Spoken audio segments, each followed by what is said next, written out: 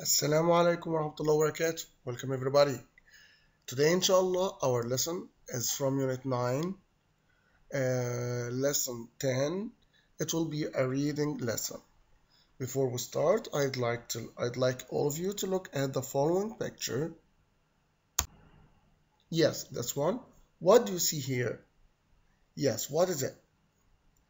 Great. Huh? more? Good it's a cow right? Okay. Is it a little bit different than a normal cow?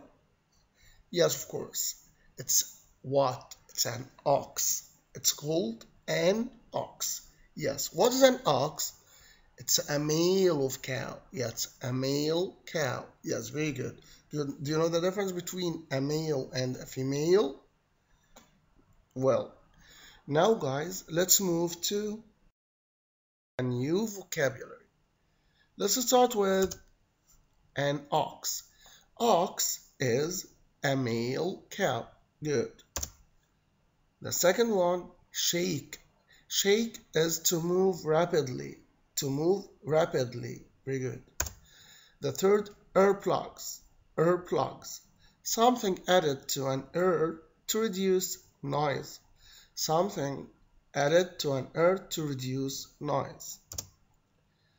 Fed the past form of feed yes. All of you know the meaning of feed yes. This word is the past form of it to give someone food. Syrup a kind of drink or juice. Syrup a kind of drink or juice.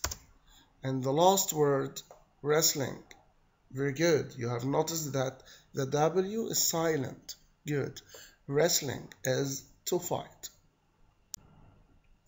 before you start reading i want you to read these questions carefully why did the frogs start wearing earplugs 2 why did Paul watch through the school window? Through the school window, yes. 3. Why did Paul go out into the snowstorm? Why did Paul go out into the snowstorm? 4. And the last, why did the ox, why did the ox turn blue? Why did the ox turn blue?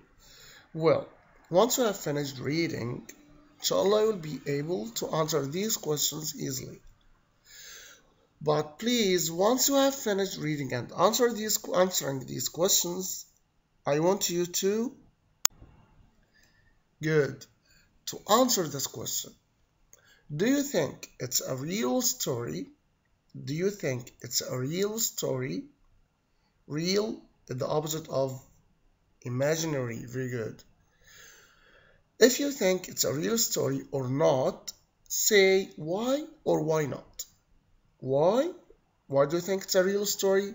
Or why do you think it's not a real story? Please leave your comments below.